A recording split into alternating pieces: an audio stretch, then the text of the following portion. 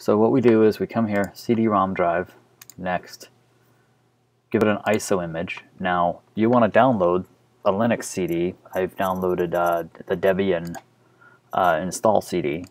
So I'm just going to browse to it. It's on my one terabyte storage and it is the Debian 760 here. AMD64 net install CD. And I'm going to show you how I do that. Now here's another problem. It's not going to boot off of this. So um, we have to now go to options, uh, boot options, tell it to run, go into the BIOS screen when it first starts up. Okay, now we're ready to start this thing up.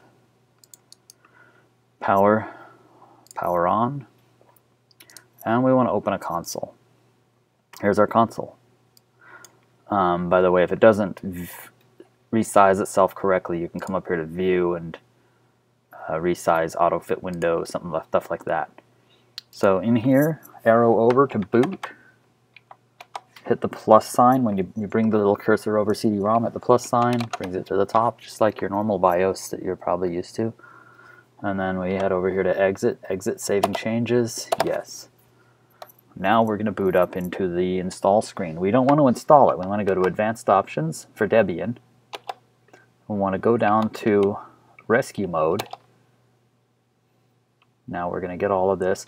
We have to go through all of this, United States, uh, American English. Uh, it's gonna it's gonna do a lot of the acting like it's doing an install. I guess it's just loading things.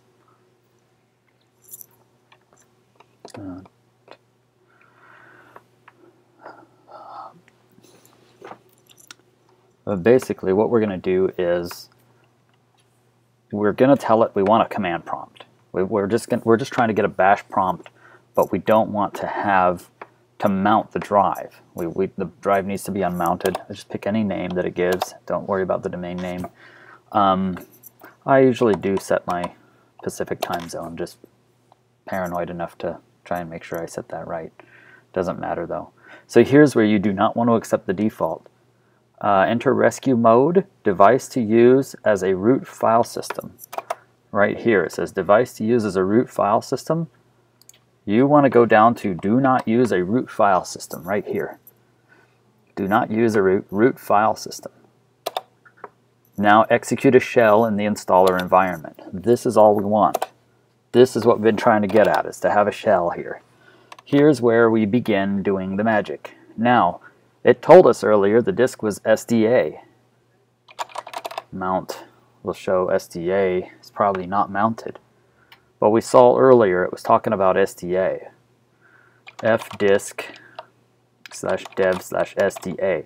Notice if you put SDA 1, you won't find a partition to remove because that's actually a partition. You want to just do SDA.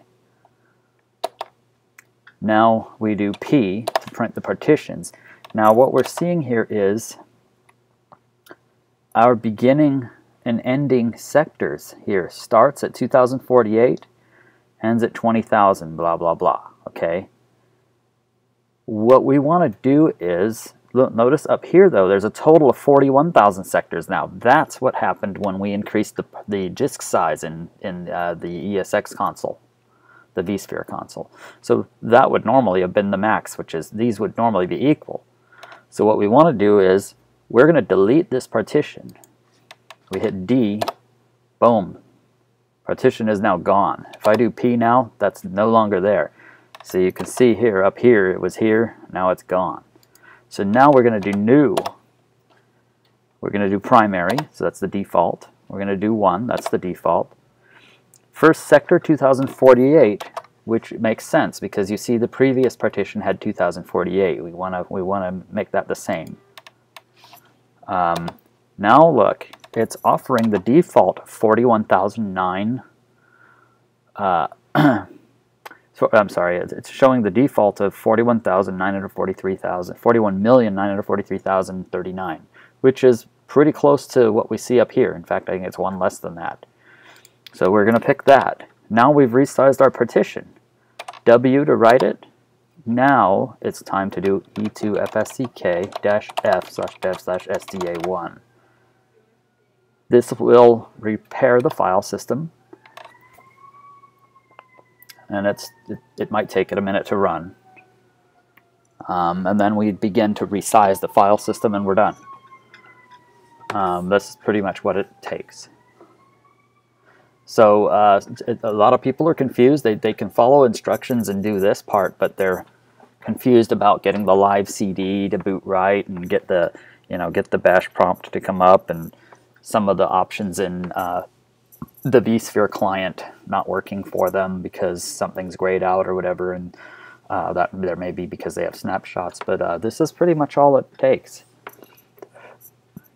And uh, looks like we're almost done with the uh, E2FSCK. By the way, resize 2FS is the next command. It will not run unless you do the E2FSCK.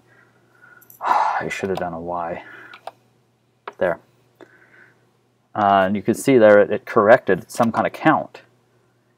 See, it corrected some kind of count. That might also be a, a consequence of us increasing the file system size. Not 100% sure, but so now resize to FS SDA1. Resizing file system.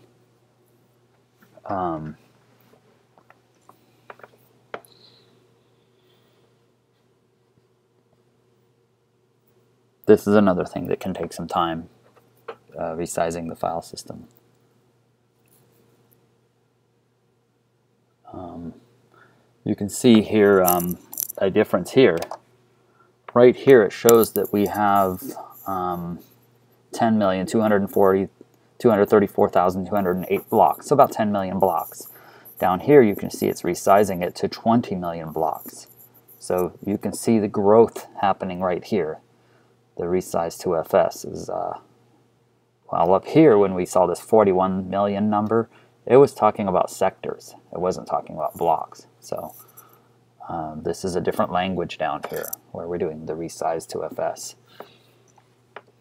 Um, and again, this takes a little while.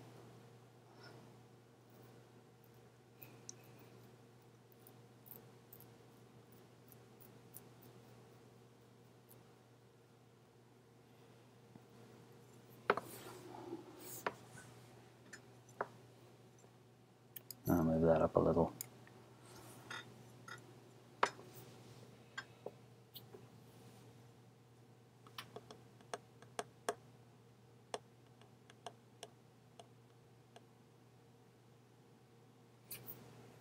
And when it's done, we'll just restart and uh, make sure that everything looks okay.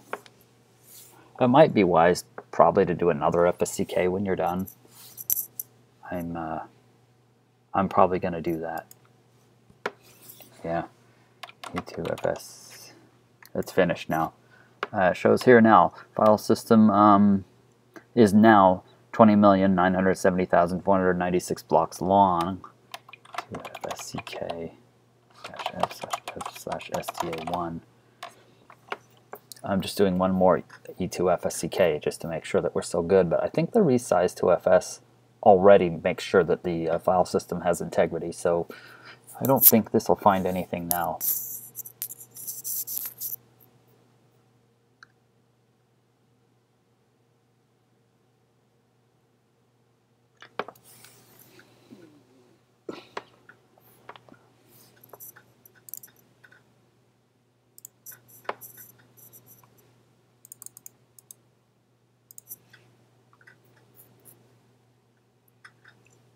Checking directory structures, checking inodes blocks, uh, group summary info. It's just about done now.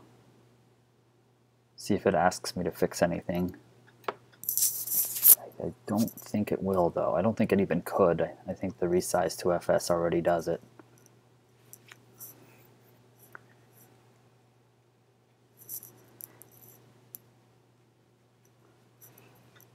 Yeah, that came up clean. So now, what do we do? Well, first we have to make sure that the um, drive, we have to edit the settings real quick here. come down here to the CD, tell it don't connect a power on. Guest operating system has disconnect and override the lock, yes. So now we're telling it we don't want to do that. Uh, I lost the uh, VM console. Just close a few things. Close. There it is. Okay. So now we're just going to reboot.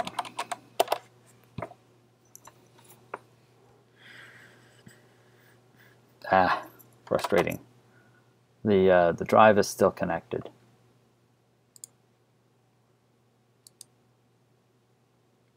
I'm going to power it off. This is a little wrestling game you get into sometimes if you're not careful. Um, connected power on is not set. Power it on. Let's see if we have another problem. It looks like the console, by the way, the console glitches out sometimes like this. It's on. The console's just not responding. You just have to close it, right click, go to uh, open console again. And uh, now I have a console. And now we're back to normal. Log in as root. Kerio is the default password, df-h. And uh, look at that. Now we're 20 gigs. Uh, that's that's what we were trying to do. So we've managed to uh, grow the file system to from 9.7 gigs to 20 gigs. Hopefully that'll be all the information you need to get going on something like this.